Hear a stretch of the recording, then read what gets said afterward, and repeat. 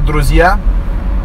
Как всегда, еду в зал и буду делиться с вами своими мыслями. Тем более, что очень много вопросов приходит по этому поводу, а именно о тренировке пресса.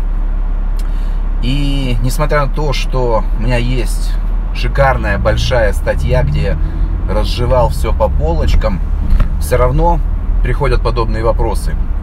Почему говорю статья шикарная? Потому что ее даже печатали в 2014 году, летом, в лучшем на тот момент журнале, пишущем о железном спорте, «Железный мир». Что самое главное, о чем нужно знать в тренировке пресса? Я думаю, тот, кто следит за моими статьями, роликами, знает это. Самое важное понимать, что когда вы хотите тренировать именно пресс, нельзя, чтобы ноги были закреплены. Это по двум причинам. Первая причина, самая актуальная, в принципе, для любого человека и особенно для тех, кто занимается ради здоровья, ради его улучшения, укрепления – это то, что с помощью этого упражнения, а точнее благодаря этому упражнению, многие получают проблемы с поясничным отделом позвоночника. Особенно, когда работают на станке, когда ноги закреплены и идут подъемы корпуса. Этого делать ни в коем случае нельзя. Именно по той простой причине, что включается в работу поясничный отдел позвоночника. Почему так происходит? Потому что когда вы закрепляете ноги, сразу же в работу включается в основном, забирая всю основную нагрузку на э, себя бицепс бедра. Реально бицепс бедра отбирает нагрузку у пресса. Вот причина, почему нельзя делать вторая это упражнение. Любое, когда вы закрепляете ваши ноги. Вы снимаете нагрузку с мышц пресса и переносите ее на бицепс бедра и поясничный отдел позвоночника. Для чего, спрашивается. Что нужно помнить еще о прессе? Если вы хотите, чтобы работал верх, низ пресса, на самом деле это одна цельная мышца.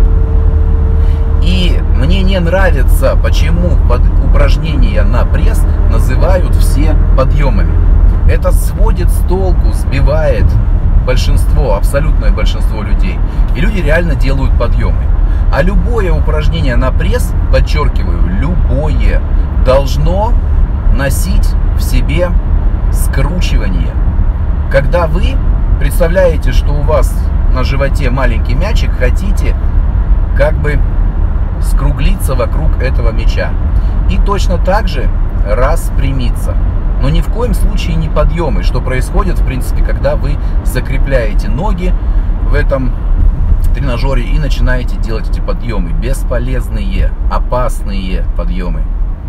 Они опаснее любых становых тяг и приседаний, потому что целиком и полностью бьют вас по поясничному отделу позвоночника. Да, если делать скручивания, то вы, естественно, и в этом тренажере сможете поработать на пресс. Но зачем? Когда гораздо эффективнее будет лечь на пол, согнуть ноги в прямых углах, в коленном суставе и держать их на весу, выполнять скручивание. Медленно скругляться, медленно, медленно распрямляться. И когда вы научитесь, когда вы будете это делать осознанно, то есть чувствовать, как работают ваши мышцы живота, пресса, можно дополнить это упражнение еще одновременным отведением ног назад. Это усложняет очень сильно, но больше включает в работу мышцы, что нам в принципе всем и нужно. Если вы хотите, как вот мне написали две мои ученицы недавно, чтобы у вас реально появились толстые кубики пресса, девочки, нужно понимать, это, во-первых, опасно, потому что у большинства из вас, у кого будет ярко виден, выражен пресс, могут пропасть месячные, вы можете начать испытывать проблемы со здоровьем. Зачем? Кому это нужно?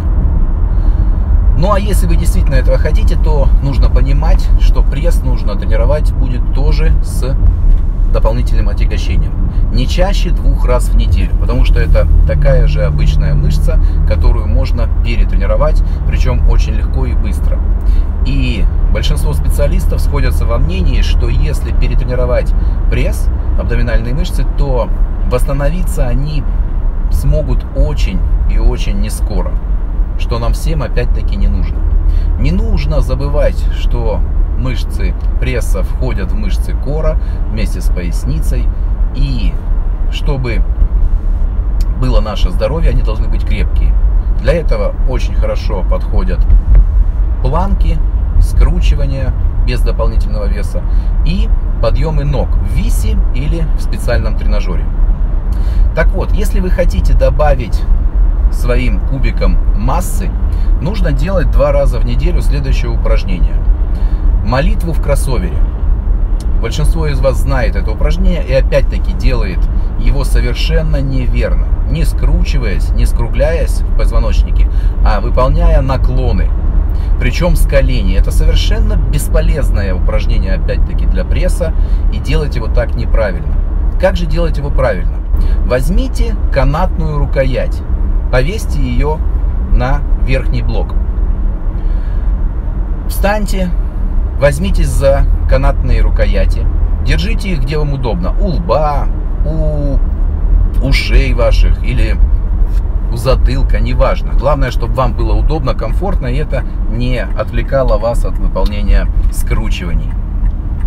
Затем, слегка наклонившись, вы должны выполнять те самые скручивания. Концентрированно, медленно скруглиться и затем вернуться в исходное положение. У вас должно получаться 8-12 повторений. Минимум 8, максимум 12.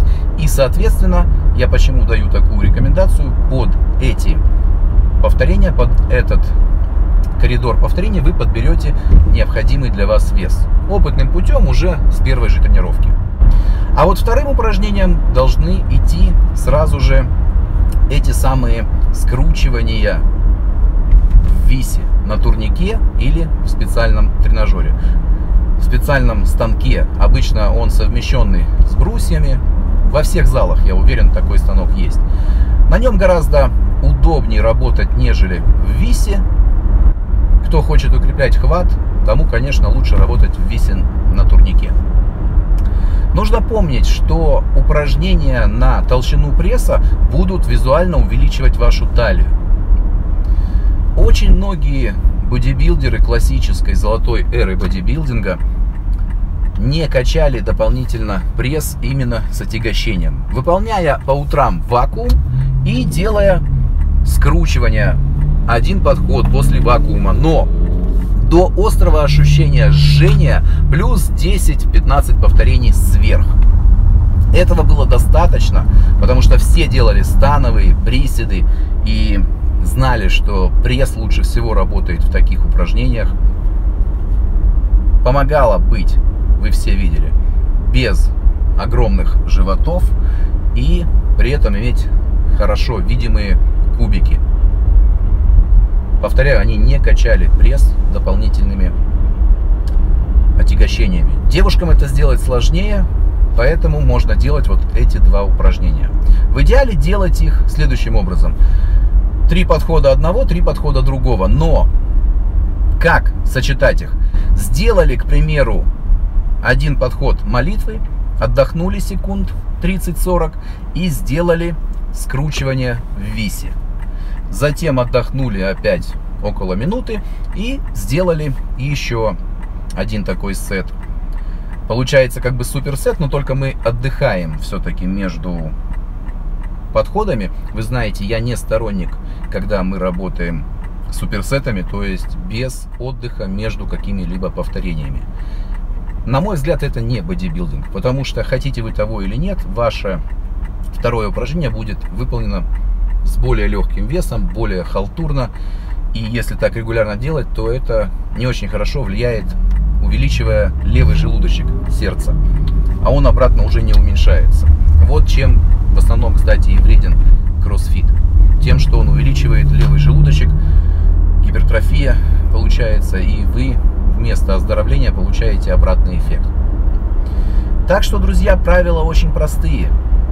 Никогда не качайте пресс с отягощением, если хотите, чтобы ваша талия оставалась маленькой, узенькой. Никогда не закрепляйте ноги в прокачке пресса. Запомните, что не существует верхнего, нижнего пресса, всегда работает вся мышца целиком.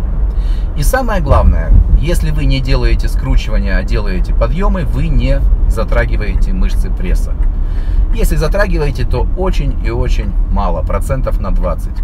Что, как вы понимаете, не имеет в принципе никакого смысла под собой. Надеюсь, друзья, вам нравятся ролики, которые я вам делаю, информация, с которой я вами делюсь. И ставьте лайки, пишите, с чем вы согласны. Если не нравится, ставьте дизлайк, пишите, с чем вы не согласны. В любом случае, делитесь данным роликом и любым другим, и моей статьей в своих соцсетях.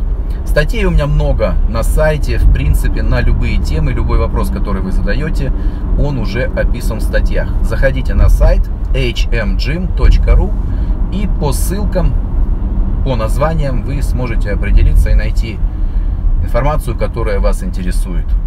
Потому что, повторяю, большинство, 99% вопросов, которые приходят, уже не раз были озвучены и в видеороликах, и в моих статьях. Тренируйтесь грамотно, делайте базу, делайте вакуум по утрам, и будет у вас все хорошо. Плюс один подход планки по максимуму и утром также до завтрака делайте один подход скручивания до острого ощущения жжения. Каждый день так можно поступать. И у вас все будет прекрасно. Естественно, если вы не будете переедать, если вы не будете обжираться. Но я думаю, что это понятно абсолютному большинству. Ну а если нет, то вам, в принципе, нужно начать учить матчасть. Ну что, друзья, спасибо, что смотрели. Увидимся, как всегда, в тренажерном зале. Всем сухой мышечной массы и силы без травм.